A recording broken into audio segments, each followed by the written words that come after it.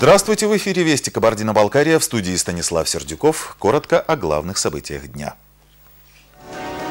Заботы земледельцев, урожай рекордный, цены низкие. Продаем по дешевке, что делать?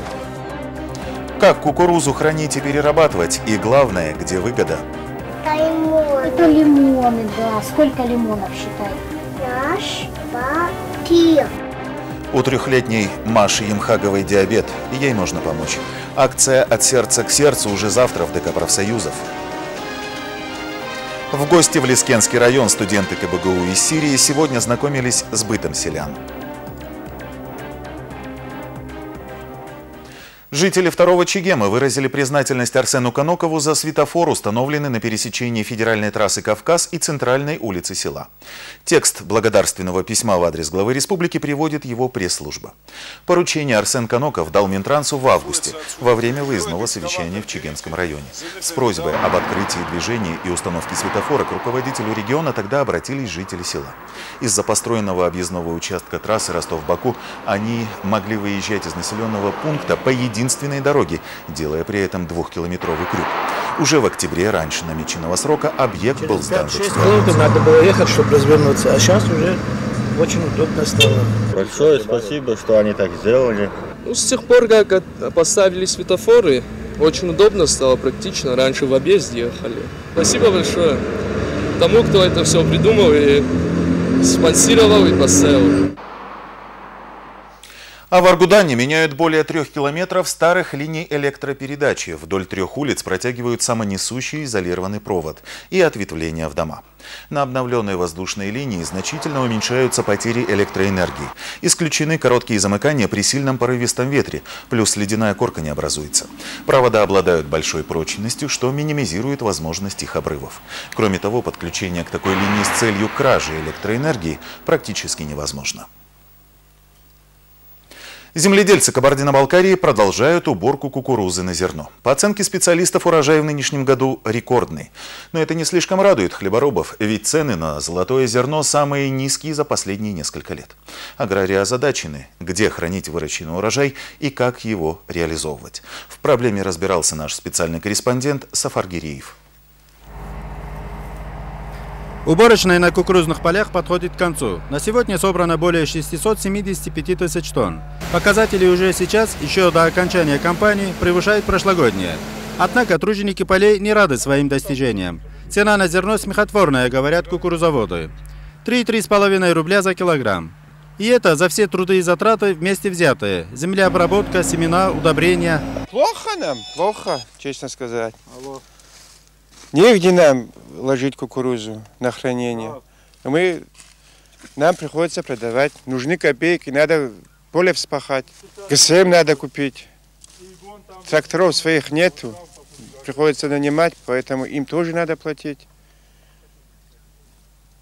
И продаем по дешевке. Что делать? К тому же в нынешнем сезоне в республике на 15% увеличили посевные площади богатырской культуры. Слишком много, получился перекос, считает фермер. Хотели как лучше, получилось как всегда. На майском ХПП сегодня все склады забиты зерном, и оно продолжает поступать. В прошлом году в это время прием урожая уже заканчивался. Кукурузу перерабатывают в основном на спирт, а с этим сегодня большие проблемы. Тут только можно одно сказать, сбыт плохой. Обычно это зерно уходило э, на спиртзаводы или все-таки э, были контракты по отгрузке ее э, в какие-нибудь страны, да. А сегодня получается, что спиртзаводы наши приостановились, а отгрузка э, за рубеж не, не очень интенсивная. Надо развивать переработку кукурузы, убежден Колесников. И в этом с ним солидарны практически все руководители хлебоприемных предприятий. Производить крахмал и более технологичную глюкозу, а еще лучше использовать подкорма. Если даже посмотреть, э, как делают это за границей, комбикорм делают и именно из кукурузы. Птицеводство в республике развито. Я думаю, это одно из приоритетных направлений, использовать его по назначению. То есть изготавливать комбикорма для птицы и крупного рогатого скота. Как бы то ни было, вопрос с ценами на зерно остается открытым. Земледельцы помнят год, когда ближе к весне цены резко подскочили. Но опять не задача. Не у всех есть возможность хранить убранное до весны. Да и живые деньги нужны на текущие хозяйственные нужды. Замкнутый круг. Выход, говорят агроспециалисты, в соблюдении пропорций посевных культур. Кроме того, нужно учитывать спрос, конъюнктуру на зерно и заранее прорабатывать варианты реализации продукции. Вот только большинство фермеров пока не обладают ни необходимой для такого анализа информацией, ни знанием принципов маркетинга. Сафар Гириев, Анатолий Дереко. Вести, Кабардино-Балкария. А вот в российских школах тем временем предлагают ввести предмет «Основы бизнеса». С такой инициативой выступили депутаты Госдумы, пишут «Известия». По мнению парламентариев, новый курс поможет школьникам лучше ориентироваться в современном мире. Включить его рекомендуют в единый образовательный стандарт для средних школ, наряду с предметами, которые преподаются на бесплатной основе. Обучение основам бизнеса, как считают в Госдуме, позволит развить у детей, к примеру, навыки правильного оформления ипотечного кредита, обращения с банковскими картами, заполнения необходимых документов на получение суды. Законодательная инициатива сейчас находится на рассмотрении депутатов. Мы продолжаем рассказ о детях, которые страдают диабетом. Уже завтра в Нальчике в ДК профсоюзов состоится благотворительная акция «От сердца к сердцу». Собранные средства пойдут на приобретение расходных материалов для маленьких пациентов. Наша телерадиокомпания оказывает информационную поддержку. Героиня сегодняшнего сюжета – трехлетняя Маша Емхагова. Слово Жанне Гуляевой. 12,9 постпрандиальный сахар. Два часа после еды прошло, неплохое значение. По сахарному диабету Ольге Емхаговой впору кандидатскую писать. Изучить болезни женщина была вынуждена, когда дочери в три месяца поставили диагноз. С тех пор надолго от Маши она не отходит. Ну, не очень корректно работают все внутренние системы органов и органы. Никогда неизвестно... А шашики? Какой ответ будет на ту или иную, например, вот, а прививку, на то или иное, на физическую нагрузку. Ну, тут много очень факторов. Она может побегать, она может понервничать, она может обрадоваться, ну вот, с детьми чему-то очень сильно. Са инсулин будет либо больше тратиться в большей степени, либо в меньшей. Как именно изменятся показатели глюкозы в крови, предугадать невозможно, потому глюкометр Ольга использует сразу, как только видит малейшие изменения в поведении дочери. Более года назад девочке установили помпу, чтобы инсулин мог поступать в организм по мере необходимости. В детский сад Маша практически не ходит. Мама вынуждена заниматься с ней дома. Мальчики. Мячики. Раз, два, три. Это лимоны. Это лимоны, да. Сколько лимонов, считай? Раз, два, три. Маша не единственный ребенок. В семье и еще трое детей. Работает только папа. Средств едва хватает на питание, а расходные материалы и тест-полоски требуются сверх нормы. Жанна Гуляева, Наталья Булат, Марат Татруков. Вести, Кабардино-Балкария. Напомню, благотворительная акция «От сердца к сердцу» состоится завтра во Дворце культуры профсоюзов. Начало в 18 часов. Приглашаем всех неравнодушных. ГТРК «Кабардино-Балкария» будет вести прямую телетрансляцию. Продолжаем. Сегодня, в преддверии 90-летия службы участковых уполномоченных, Республиканская МВД организовала встречу учащихся, ветеранов правоохранительных органов и журналистов с полицейскими. Они рассказали о деталях своей работы, а вот нашей съемочной группе удалось провести это утро с самими участковыми. В рейд вышла Нуржан Кубадиева. Мальбахов Исмиль, он мой участковый, он ко мне постоянно приходит, он меня на работу устроил. А где вы работаете? Охранником в организации. В прошлом судимость за кражу, в настоящем пристрастие к алкоголю. Участковый у Дмитрия Гендугова частые гости. Жалобы на него поступают не только от соседей, от ближайших родственников. Сам Дмитрий говорит, что пить уже почти бросил, во всем слушается мать, ремонтирует квартиру и вообще стремится к нормальному образу жизни. Вы уже давно не пьете? Ну, ну сколько дней? Два месяца. Какие два месяца? Я, я неделю тому назад видел. Рабочий день участковых Исмеля Мальбахова и Мухаммеда Березгова начинается в 9 утра, а заканчивается лишь поздно вечером. И хотя участок в районе Горны считается благополучным, работы хватает. К постоянному общению с людьми прибавляется бумажная рутина в опорном пункте. По словам полицейских, их глаза и уши – это пенсионерки. Они, как правило, в доме всех знают, часто гуляют и проявляют живой интерес к тому, что вокруг происходит. А бывает на участке всякое. Когда мы проверяли э, сроки хранения оружия, э, был такой случай, когда у человека мы обнаружили 4 незагрессированных ствола и 300 патронов к нему. который мы нашли случайно после осмотра гаража. Один участок – это 2-3 тысячи жителей. Уголовные преступления, в частности кражи, грабежи и правонарушения, связанные с наркотиками, происходят довольно редко. В основном полицейским приходится разбираться с бытовыми вопросами, а это зачастую требует железных нервов. В органах внутренних дел считается, что работа участковых непростая, несмотря на это дефицита в кадрах нет. Самое важное в работе участкового – это общественное мнение, чтобы люди э, знали, что можно подойти к участковому, довериться ему, и что от него можно получить помощь. Э, не просто юридическую, даже всяческую помощь мы стараемся оказывать населению э, в плане там и споров между жильцами домов.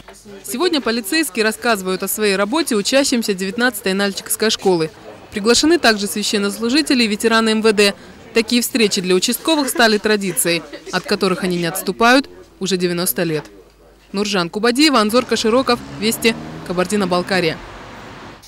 Все свои так называется межрегиональный проект, к реализации которого приступает Российский фонд поддержки исламской культуры, науки и образования, сообщает Интерфакс. Участвуют все регионы Северокавказского округа, в том числе и Кабардино-Балкария. Среди задач проекта формирование межрелигиозного и межэтнического взаимоуважения, распространение знаний об истинных исламских ценностях, противодействие экстремизму среди молодежи. Целевая аудитория – активисты общественных и религиозных организаций, журналисты, блогеры, учителя школ. Планируются обучающие и контрольные семинары, конкурс региональных проектов и реализация тех из них, которые получат финансирование. Занятия пройдут с 30 ноября по 4 декабря в Пятигорске, передает Интерфакс.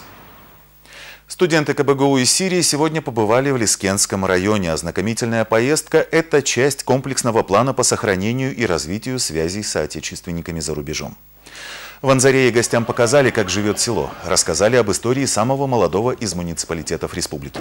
Заинтересовали адыгскую молодежь и экспонаты районного музея, где собраны предметы обихода кабардинцев, и старинные народные песни, которые большинство сирийских студентов слышало впервые. Dunaj,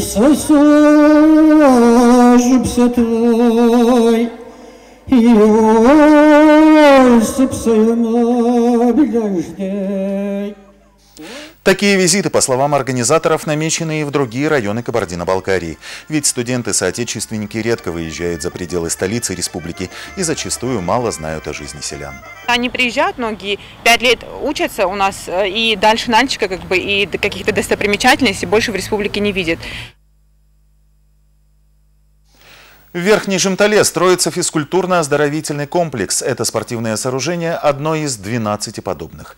Возводят Фоки, напомню, на 100 миллионов рублей, выделенных из федерального бюджета за победу Кабардино-Балкарии в Кавказских играх. Строительство было начато год назад, сейчас работы в самом разгаре. Каркас ангарного типа сооружен из легких металлических конструкций. Это специальная финская черепица толщиной в 4 раза больше обычной. В Фоке будет универсальный зал, две раздевалки с душевыми и санузлами, тренерская, медицинский кабинет и технические помещения. Ввод в действие единственного в селе спортивного объекта планируется в конце года. У нас среди молодежи очень много занимающихся спортом. Могу даже пример привести одного выходца с села. Это мой троюродный брат Занкшиев Казбек Кубадиевич. Он сейчас занимается в Тюмени, в Олимпийской э, школе спорта.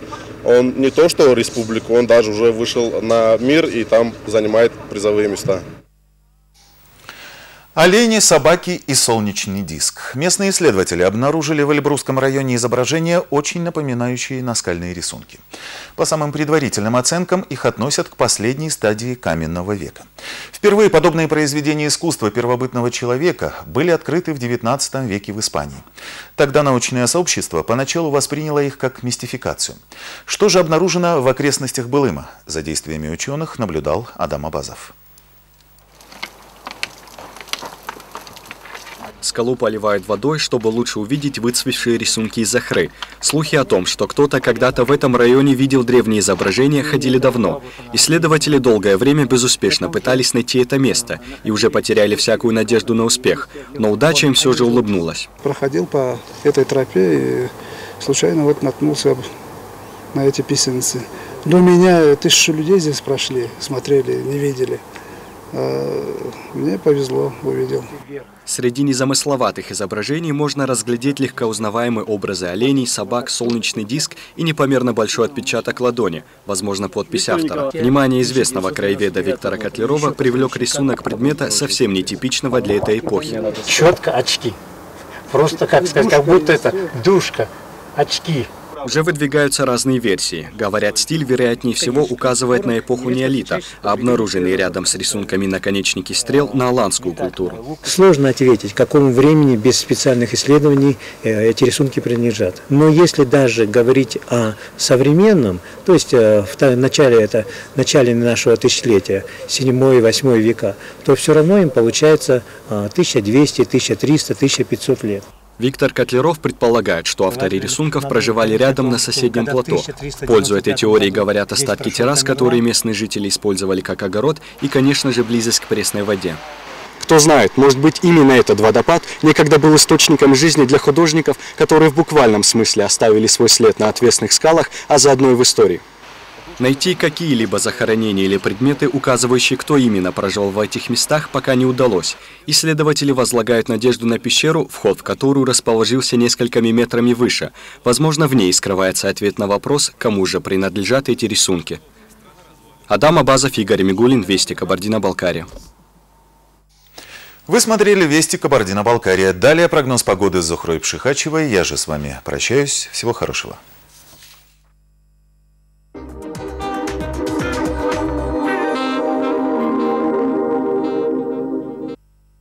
Внимание! В салонах оптики Ленар скидка на коллекцию солнцезащитных очков 2013 года 20%. Нальчик Ногма 80. Торговый центр «Офис и дом» – это огромный выбор офисной мебели российского импортного производства всех ценовых категорий. Наш адрес – улица Кирова, 294.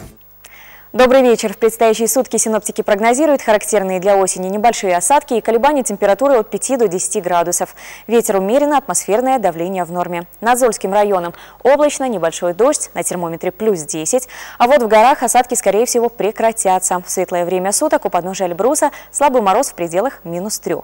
В Тернаузе те же 3 градуса, но уже с отметкой плюс. Над Баксаном, Чегемом и Нордкалой возможны тучи, местами не исключены осадки плюс 10. Показатели температуры, как и погода в целом, в Прохладницком и Майском, Терском и Лескенском районах схожие, там синоптики ожидают кратковременный дождь. При небольшом ветре в Кашхатау достаточно влажно и ветрено.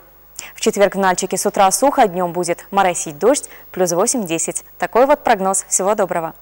Кровля-центр – все виды жестяных работ. Монтаж кровли, сайдинг, аксессуары, системы вентиляции. Кровля-центр. Центральней не бывает.